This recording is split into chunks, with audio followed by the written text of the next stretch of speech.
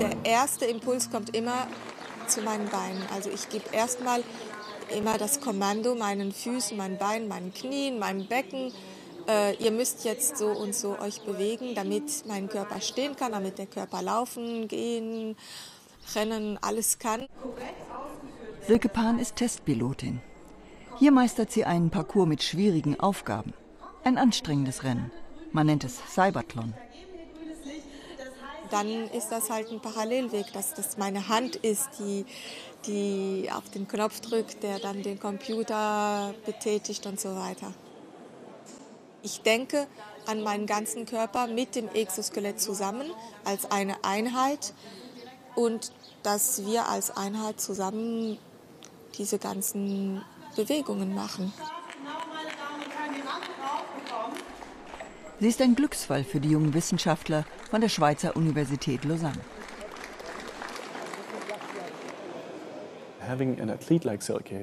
Eine Athletin wie Silke gibt uns die Chance, die Technologie für so einen Wettkampf schneller zu entwickeln als mit einem normalen Piloten. Früher ist Silke Pan als Artistin aufgetreten, bis 2007. Dann passierte ein schwerer Unfall. Sie stürzt beim Training ab, vom Trapez. Seitdem ist sie vom Becken ab querschnittgelähmt. Ins Leben musste sie sich mühsam zurückkämpfen. Ägle in der Südschweiz. Heute ist Silke Pan Profisportlerin, fährt Handbike auf Weltmeisterniveau. Hier im Rhonetal hat die Spitzensportlerin ideale Trainingsbedingungen gefunden. In der Reha-Klinik hat sie das Sportgerät Handbike überhaupt erst kennengelernt. Das wird ihr Sport und ihre Leidenschaft. Wo ich dann angefangen habe mit dem Leistungssport in, im Handbike, das war für mich auch so ein ganz großes Gefühl. Da konnte ich wieder dieses Gefühl des sportlichen Körpers zurückfinden. Einfach dieses, äh, die Muskeln, die brennen und dann, dass man schwitzt und dass man sich anstrengt. Und das sind eigentlich äh, ja diese Gefühle, die, die man auch als, als nicht behinderter Mensch im Sport hat. Täglich hat sie hartes Training. Da habe ich schon Glück an, dass ich da diese Strecke habe, dass ich, dass ich da so viele Kilometer an dem Fluss lang fahren kann, wo keine Autos sind. Ausdauer, Disziplin und mentale Stärke. Das hat sie aktuell auf Platz 2 der Weltrangliste im Handbike gebracht. Handbike WM an einer Paracycling-Weltmeisterschaft mit am Start Silke Pan, eine weitere deutsche Athletin. Auch sie zählt zu den Favoritinnen in dieser Kategorie.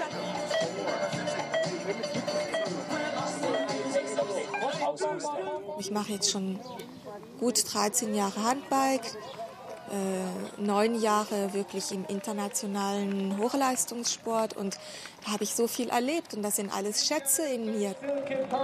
Germany, Germany.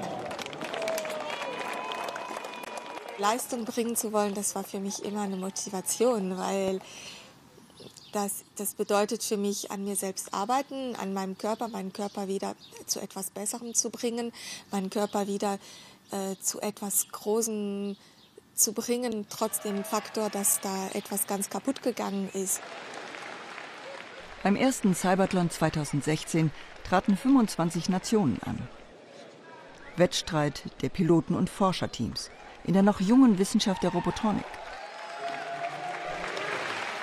Natürlich gab es da auch Rückschläge. Also jetzt das erste Cyberthlon, wo wir eigentlich gut waren. Also wir haben ja das Rennen begonnen und da waren wir in erster Position.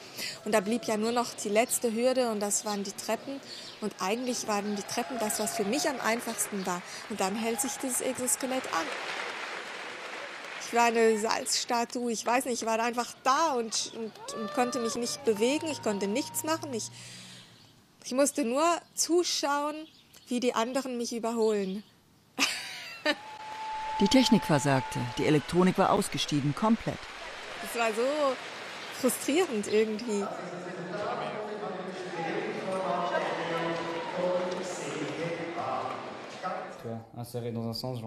Viel hat sich seitdem getan.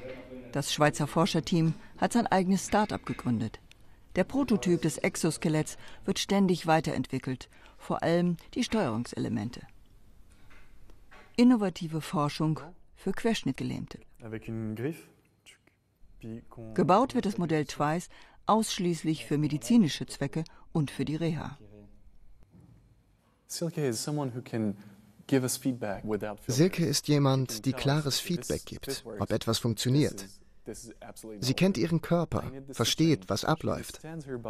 Damit können wir die Technologie präzise verbessern.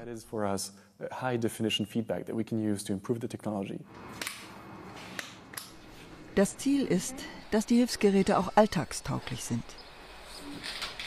Bei Silke Pan zu Hause steht das Training für einen hochdotierten Wissenschaftswettbewerb an. Dafür muss jede Übungseinheit minutiös mit der Kamera dokumentiert werden. Silke ist schnell. Ihre Zeit wird gestoppt. Das sind anstrengende Tage für sie. Aber diesmal gewinnt das Team mit ihrer Testpilotin. Silke kann rasend schnell Informationen verarbeiten. Sie gibt dann Feedback, sagt, ihr müsst dieses oder jenes verändern.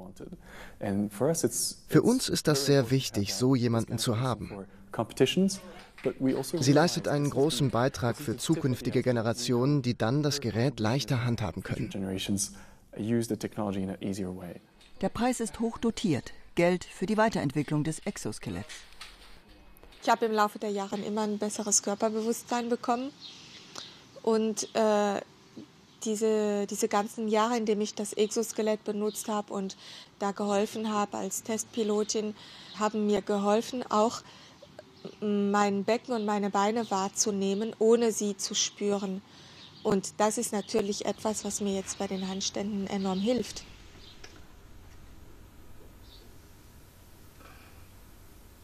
Silke Pan trainiert wieder für eine Akrobatikvorstellung.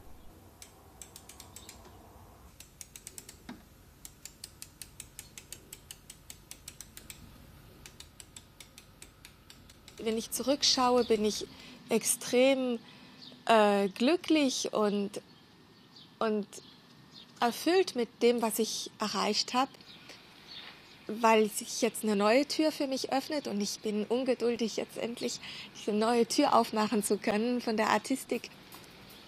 Aber ich, ich bin auch froh, diese Jahre im Leistungssport gemacht zu haben. Für die Spitzenathletin beginnt ein neuer Lebensabschnitt. Mit dem Leistungssport wird sie nun aufhören. Handbike fährt sie jetzt nur noch zum Vergnügen.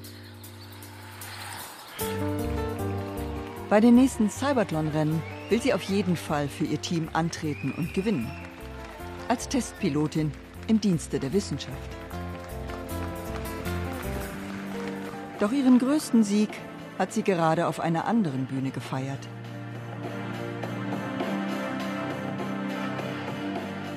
Sie ist zur Artistik zurückgekehrt.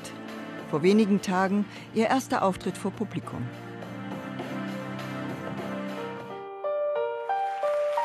Der Kreis schließt sich.